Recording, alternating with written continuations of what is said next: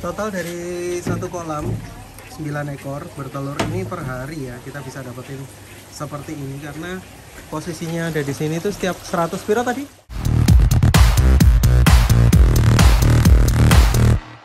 Halo teman-teman, kembali ke channel YouTubeku Pratama Megantoro. Di video kali ini kita akan uh, apa namanya? membahas lokasi yang ada di kolam kita dan mencoba melihat seberapa banyak lobster air tawar yang bertelur di kolam kita. Kalau tidak salah kita sempat bahas seputar percepatan untuk lobster air tawar bertelur.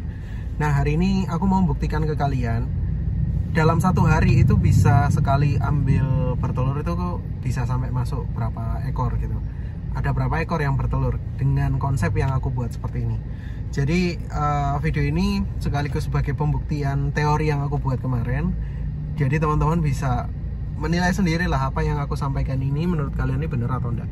Nah uh, kita sekarang masih ada di Ayani. Jadi kebetulan baru saja habis ke lokasi salah satu calon mitra yang sebenarnya budidayanya ini belum begitu belum jalan ya karena mungkin ada terkendala beberapa hal. Jadi aku nggak sempat bikin konten. Akhirnya aku kepikiran untuk perjalanan pulang gimana kalau aku bikin konten di kolamku sendiri kayak gitu mungkin sekitar 30 menit ya. Sekitar 30 menitan kita baru sampai di lokasi kantor. Jadi kita coba kita akan coba dulu lihat di kantor itu seperti apa. Dan apakah benar-benar bisa dalam satu hari itu bisa sampai 3 sampai 4 ekor yang bertelur di satu kolam karena memang uh, apa namanya dari bulan kemarin data bulan kemarin itu total ada 26 ekor betina bertelur dalam satu bulan di bulan Desember. Video ini dibuat di tanggal 1 Januari 2022 jadi selamat tahun baru buat teman-teman semua. Ya ini tahun baru ya. Tahun baru isinya kerja cuy ya Pak Dewi cuy. Ya cuy. Ala. Mas Adi jadi tahun baru kita isinya kerja cuy. Kita nggak ke mana-mana. Nah mungkin uh, apa namanya audio untuk soal audio ya audio di dalam video mungkin mulai sekarang sudah agak agak kebantu nih. Udah kita udah pasang clip on di setiap videonya mulai hari ini. Jadi semoga juga membantu ya. Karena beberapa video kemarin itu kita nggak pakai clip on sama sekali. Jadi bener-bener suaraku yang aku harus teriak-teriak ke depan kamera jadi nggak nggak begitu jelas.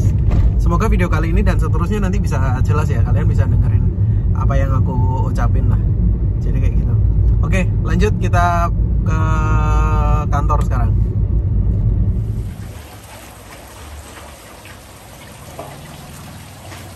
Oke teman-teman, ini sekarang sudah di kolam betina. Jadi ini satu satu lokasi kolam betina kita itu kalau nggak salah kalau dari data terakhir itu 90 90 betina uh, jantannya 6 masa diri betinanya piro mas? Hah? Ya, sampai lihat dulu ya sambil nunggu datanya Mas Adi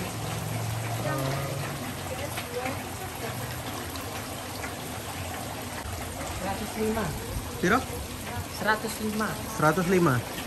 Jadi ada 105 betina, jantannya berapa? 6. Jantannya 6 ya? 6 lah paling enggak. Oh, maksudnya sini ya? Iya, oh, sing ning kene. Yang ada di sini. Dan 6. Ya paling enggak ada 6 ya. Nah, sekarang kita akan ngecek uh, apa namanya? Di satu kolam ini nih yang bertelur ini ada berapa. Jadi hari ini kita mau ngecek itu sambil pelan-pelan itu kita lihat ada yang bertelur atau enggak.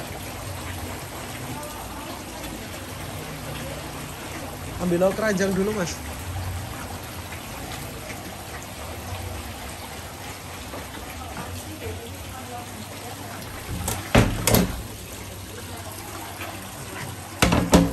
Kita kita fokus cari yang bertelur ya sekarang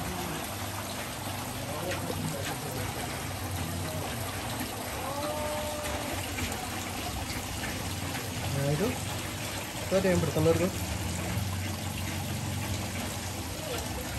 oh iya. Nah itu iya.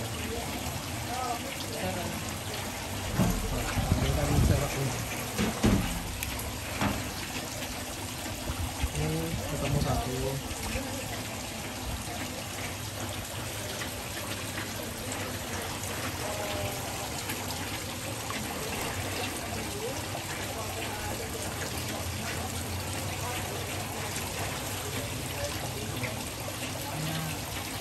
ya taruh situ. Satu. Oke, kita cari lagi.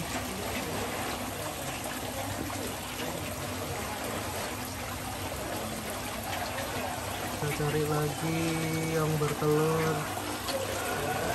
Ini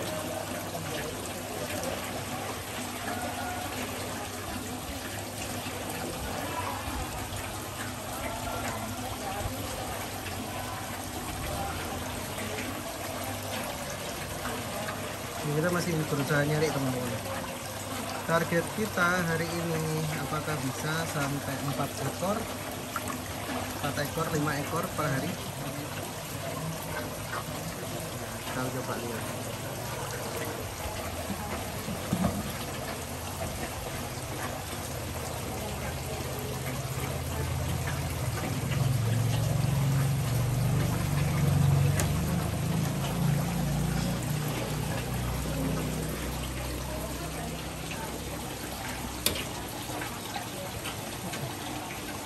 Besar ada?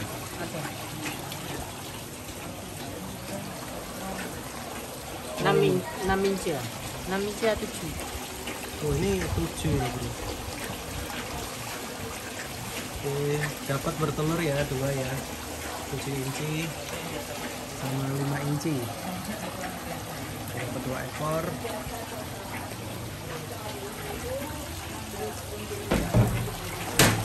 jadi sudah ada dua.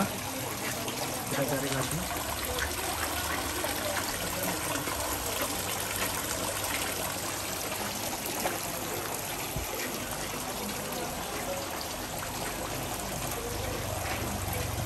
Ini ada lagi. ada lagi oke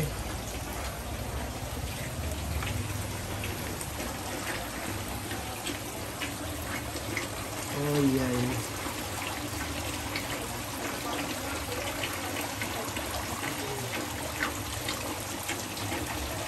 ini 4 inci ya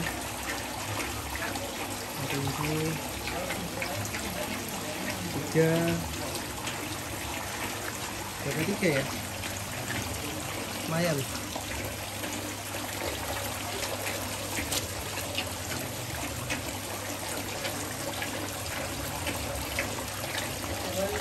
Itu kayak Ini. ah itu ya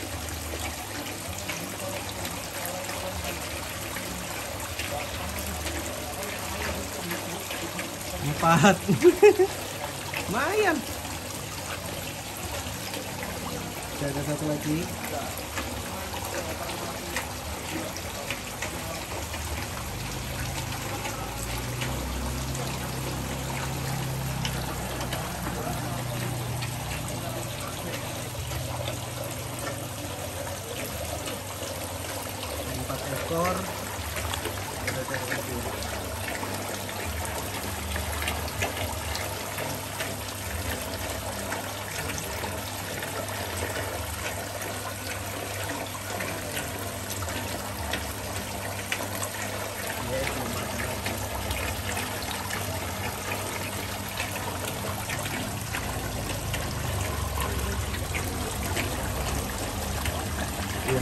Kita belum ke sana sih, Mas.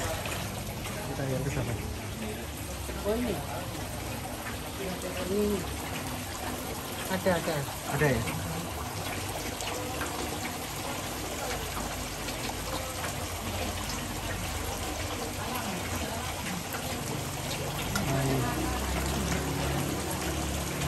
Oke, ini empat inci. Lima ya? Ini lima, lima ekor hari ini. Tapi belum semua sih, masih belum semua. Itu mas, itu ada lagi tuh. Tadi masuk, tadi masuk ke sini. Tidak ya? Ya.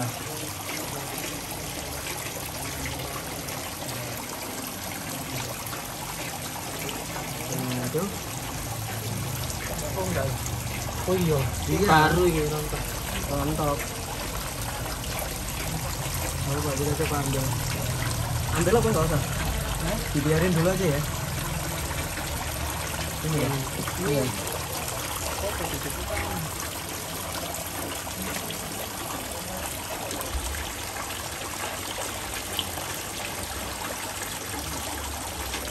Oke, masuk. Enam, enam ya. Enam. enam Tuh. ini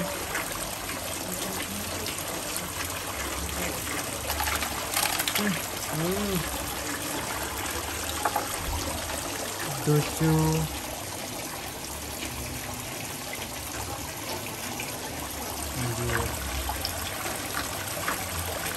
Tujuh tujuh oh, tujuh Ini apa itu? Oh, iya. Ini yang tadi itu, yang aku bilang itu. Nah, udah masuk tuh. Ini kabur. Ini kabur. Nah. Delapan. Yang ini.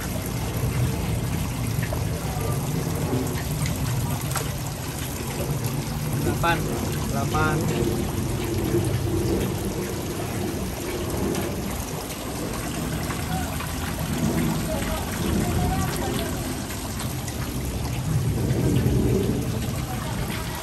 Iya. Kalau capitnya ada merahnya itu jantan. 8 Kita tarik lagi. Oh, enggak.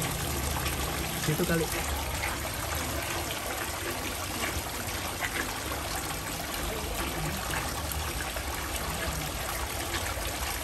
Oh ini ada lagi. Nah, ini 9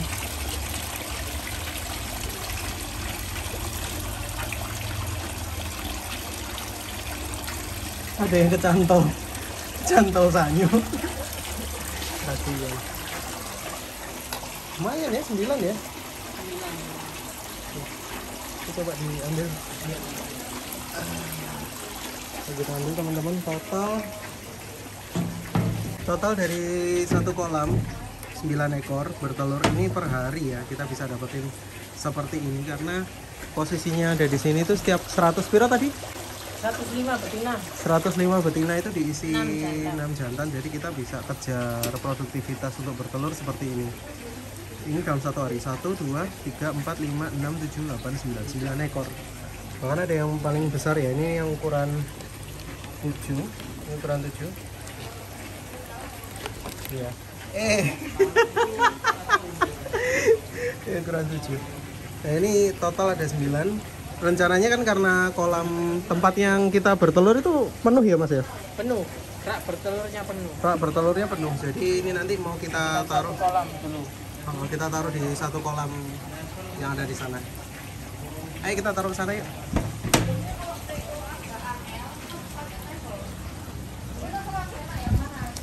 Mas, bertelur mas. Oh ini. Ini, Cirinya yang bertelur. ini cirinya yang bertelur. Yang Iya. edukasi ya. Oh gitu. Ini Pak nah, dari. Probolinggo. Kelihatan kalau di air dia pasti meskipun jalan tetap gini. Melindungi telurnya. Minggu. Jadi total, Kecil juga bisa ya. Ini 4 inci sih di sini. Ini Empat empat setengah ya. 4 4 sih 4 inci. Ini 4 Ini kok inci. beda sendiri yang dulu. Sama aja. Ini cuman apa namanya dia genetiknya aja. Iya, kok kadang-kadang ada yang warna biru gitu. Biru Ah. kehijauan, ada yang Ada yang biru kehijauan, ada yang biru keunguan juga. Iya, ada. Untuk yang dikonsumsi Tapi sama ya. Besarnya harus siapa ini yang dikonsumsi? Biasanya sih kalau lokal itu ukuran 4 incian gini. Lokal itu malah ini. heeh. Enggak enggak apa enak yang besar soalnya banyak dagingnya gitu kan. Nah, kadang kan kita mikirnya ke arah sana tuh. Iya. Cuman kadang yang besar itu malah jarang laku. Jadi 6 incian ke atas itu kita jarang sih orang yang beli. Karena apa biasanya? Apa dagingnya kurang enak atau gimana? Buat campuran tuh cuman dapat HPP-nya rodok mahal. Jadi ini kan buat gantinya lobster air laut toh. Iya. Kayak misalnya mau diganti jadi bakso atau apa atau di- jadi menu campuran. Kalau dibuat kayak gitu yang gede-gede yang 1 kilo isi 13 10 itu HPP-nya lebih mahal. Habis itu apa ya? Harga pokok mar- marginnya dia untuk gitu. masukkan satu barang itu lebih mahal. Kalau yang paling besar di sini tuh lah bisa maksimal lobster itu? Ada di sana. Mau lihat? Pengen tahu sih. Ya, ayo, ayo. Ntar, ah, aku ini tak taruh belakang dulu ya. Jadi ini kolamnya kita taruh di belakang telurnya. Nah ini yang rak bertelurnya kita itu sudah nggak muat. Ini udah nggak muat. Ini padahal kapasitas kapasitas berapa? 18. Kapasitas 18 ya. 18 terus terakhir sudah ada 25 ditambah sama ini 9. Jadi sekarang ada 34 ekor bertelur. Jadi mau nggak mau kita campur di sini. Jadi ditaruh sini ya. Ya. Ini kita campur di sini. Tuh.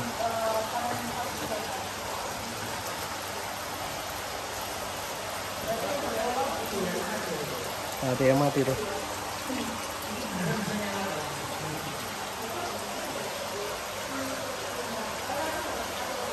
Itu ada yang bertelurnya mati teman-teman. Ini bisa dilihatin. Nah ini masih hidup nanti bisa di inkubator. Nah ini anakannya ini, ini kita akan kita masukkan ke inkubator. Nah, Jadi sudah keluar matanya.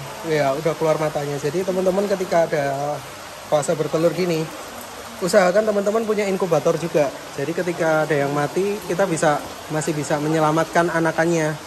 Kan eman teman-teman kalau kalau dilihatin kan, gerak. Oke sebentar, keluarin keranjangnya dulu. Nah, coba lihat mas. Nah ini kan sudah tinggal sebentar nih ya, udah keluar matanya semua nih.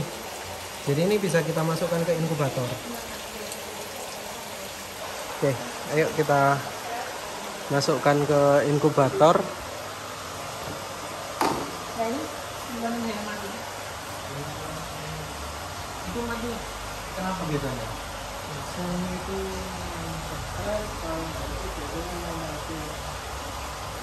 Tapi anaknya itu pasti hidup ya. Kalau dipindah ke inkubator masih bisa hidup mas, tapi kalau misalkan dia mati gini ya terus dibiarin 2-3 harian jamur udah nggak bisa di. Meninggalnya itu kena jamur gitu. Kalau apa namanya betinanya bukan karena jamur, jadi karena stres.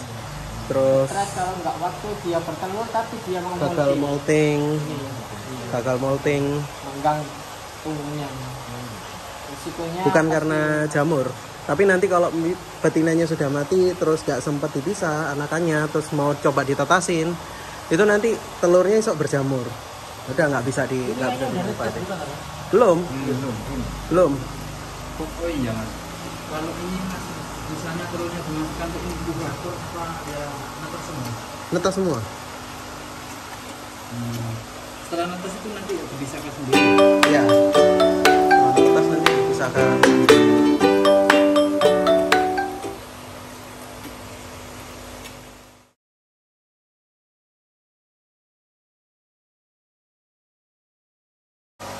Nah, teman-teman setelah dimasukkan ke sini, jadi ini nanti ketika menetas dia akan keluar sendiri. Kayak misalkan yang ini, ini kalau misalkan teman-teman lihat di bawah sini, nah ini ada lobster juga yang sudah sampai ke ukuran ini. Kemungkinan kita lupa ya ngambilnya ya. Yaitu ada satu, ada dua. Ketika sudah menetas, dia bisa tetap bisa menetas pak teman-teman. Di inkubatornya itu. Jadi dari sini. Setelah itu nanti dia akan keluar sendiri. Jadi fungsinya inkubator itu seperti itu.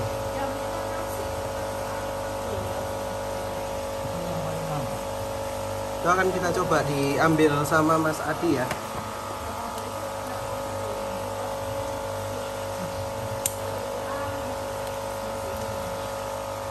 Ini gaji pertama berapa tahun? Karena ada yang lima tahun. Iya, bisa. Kalau Dapat ya? yang A15 itu dua tahunan kalau yang apa A20 ini agak apa namanya ada beberapa mungkin satu ekor yang kelupaan diambil ya akhirnya di situ. Ini kita Ini ambil hasil dari inkubator. Nah, ini hasilnya dari inkubator. Ini ini masih hidup ya teman-teman ya. Tinggal dimasukkan ke dalam air aja udah ini dia udah jalan. Coba mas kita masukkan ke air mas. Coba kita masukkan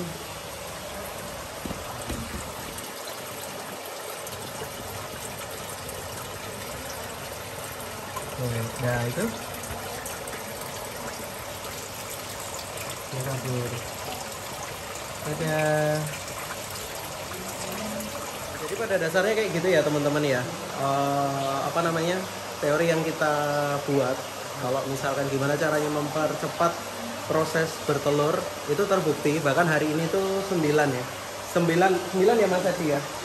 9 ekor lobster air tawar yang bertelur hari ini satu hari aja jadi biasanya kita akan cek itu setiap dua hari tiga hari sekali itu bisa 9 10 9 10 bahkan rak itu rak yang kita buat untuk eh, apa namanya untuk bertelur itu sampai nggak muat Nah, kita tetap akan mempersiapkan apa namanya inkubator. Kita akan mempersiapkan inkubator sebagai jaga-jaga kalau misalkan betinanya ini bertelurnya eh, ada yang meninggal di proses karantinanya itu, kita masih bisa menyelamatkan telurnya. Jadi kayak gitu. Jadi dari aku gitu dulu teman-teman. Thank you semua yang udah nonton. Eh, jangan lupa ketik like, subscribe dan nyalain tombol loncengnya. Kalau kamu apa namanya subscribe channel YouTube aku semakin semangat untuk buat konten YouTube eh, berikutnya. Jadi kayak gitu. Thank you semua.